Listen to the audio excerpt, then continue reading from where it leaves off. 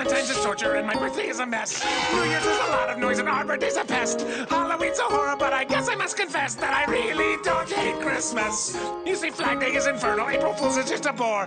Mardi Gras a waste unless you own a candy store. All these other holidays I can admit that I abhor, but I really don't hate Christmas. Now it isn't that I like it at the most, I feel ambivalence. But should I really just destroy it? I'll admit that I'm still on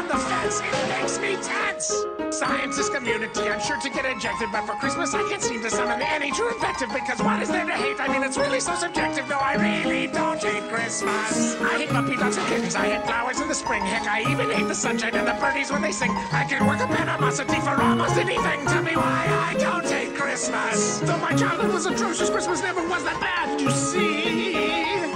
So the most that I can muster is complete total apathy.